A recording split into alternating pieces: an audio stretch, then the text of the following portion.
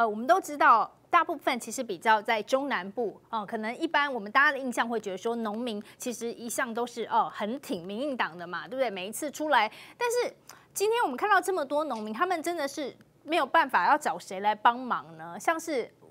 凤梨之外，今天也有传出下一个可能会是莲雾。那莲雾的话更惨了，因为莲雾大家知道它的保存期其实更短一些。这样现在因为疫情的关系，你要销到这个欧美啊，也因为这个航运或是一些呃空运的部分，它可能。导致它的成本会更多，所以现在今天有传出说六龟连五下周可能订单要喊卡，但是今天哦官方有出来讲说没有，这个只是呃这个商业他们自己，并不是国家的一个政策，但其实还是要担心，对不对？当然，尤其是民进党政府最害怕的，应该就是造成一个骨牌效应。如果中国大陆真的有其他的考量，或者有其他操作的想法，而一个一个的对台湾。大量的这个农盘农产品进口进行了某种程度的限制，那么对台湾的农业来说，一定会造成很严重的冲击。可是我要问民进党政府一句话的是：中国大陆过去买了我们台湾这么多水果，从台湾到底得到了什么？得到的是民进党无穷无尽的羞辱跟谩骂，得到的是民进党想尽各种办法在升值于台湾内部的仇中意识。我要请问蔡英文总统，如果今天你是中国大陆政府，你还愿意买下去吗？所以今天。可以看到民进党这种伪善的真面目。你一方面批判中国大陆，一一方面丑化中国大陆，还要去赚人家的人民币。人家不让你赚人民币了，你又再反过来再骂他一次。这世界上有这样的人吗？所以，如果今天真的中国大陆要采取这样的方法，我真的替我们台湾的农民觉得悲哀。有这样的政府，事前也没有做任何的部署，现在才跑过来说嘴，来跑过来画大饼。然后呢，想尽各种办法去得罪我们最重要的这个主要的农产品外销的市场的这些国家。说实在的，既帮不上忙，反而去扯后腿，这样的政府哦，真的当补药不行，当泻药倒是挺有办法的。嗯，所以今天像是朱一伦市长也就说了，真的是这些果农哦，他们需要一个道歉。蔡政府，你是不是要出来跟他们道歉？因为过去这当然应该道歉，都都好像现在就是呃一个很梦幻的泡泡就这么破灭了。当然，我我要讲的是，我刚才就跟各位提过了，就如果你今天认为台湾的农产品对中国大陆的市场依存度过高，我们给了你五年多的时间，两千个日子，你为什么什么事都没有做？你到现在，你的县长才跑出来说，我们现在做超前部署，超什么钱？现在做的部署只能为了明年了。我们的凤梨都已经产出来了，你要怎么超前？买不出来，要不要民进党的潘孟安自己把它买掉？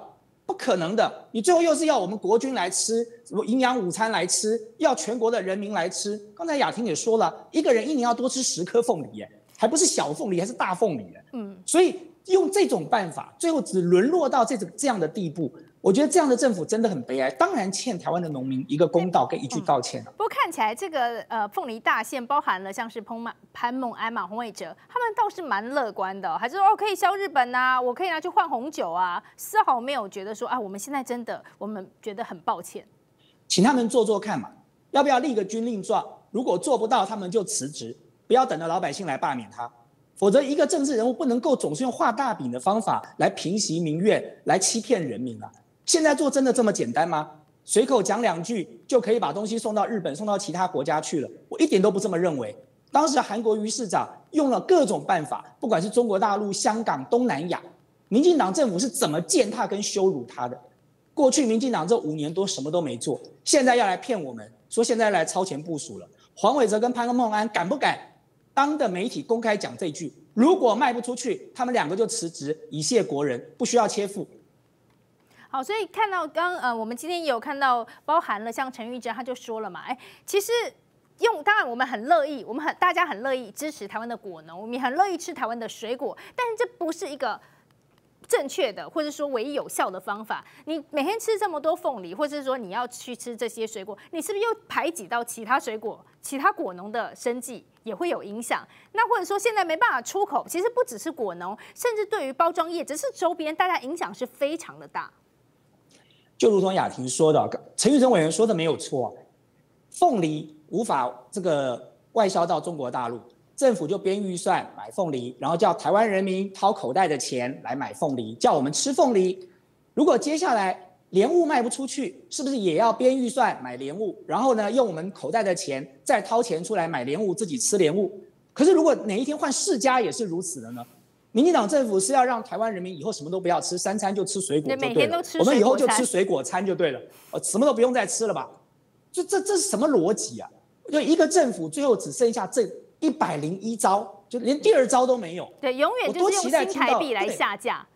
民进党至少拿个第二招出来吧，就连第二招都没有，就剩这一招。而且说难听点哦，这招不是民进党的，这招是台湾老百姓的预算，是我们的纳税血汗钱，口袋掏出来钱。下架这些水果的也是我们自己的钱，不是蔡英文的钱，不是民进党政治人物的钱。所以先前已经花了这么多钱哈，在这个要来宣导新南向啊，我们的成果怎么样？很棒很棒，这个钱都花了，现在看起来不但没有好像得到实质，我们能够拿到一个这个帮助，就现在又要拿什么？又要拿钱出来，再来去把它下架。所以从头到尾，人民就是血汗钱不断的拿出来拿出来。但是我们也给了蔡政府这么长的时间，所以我们可以看到，在今天现在这个凤梨销不出去了啊，就是所有的梦幻，就今天就破灭了。甚至接下来，就像刚。那我们六伟说的，未来还可能，现在很担心骨牌效应。虽然现在看起来他们是蛮乐观的，但是大家真的心里非常担心。我们今天也谢谢六伟接受我们的视讯访问，感谢你宝贵的意见，谢谢谢谢。好，那持续我们再来关注，就是呢，大陆就是宣布三月号开始禁止台湾的凤梨，所以现在在高雄大树的凤梨博，它原本种植面积五十甲，已经要采收了，准备要出口了，没想到被弃单上百货柜，它损失的金额上千万，真的。欲哭无泪，但现在呢？哎，现在民党部分是不是全党都要开始来救凤梨了？副总赖清德来到台南的梅河企业认购，屏东县长潘孟安他是丰贵出口日本，看起来非常的风光哦。他说，长期的超前部署销日本，有机会渴望翻倍。但是果农怎么说？大陆出口量是日本的九倍，这个数字实在差太多。你要用其他国家的来弥补这个量，根本不可能。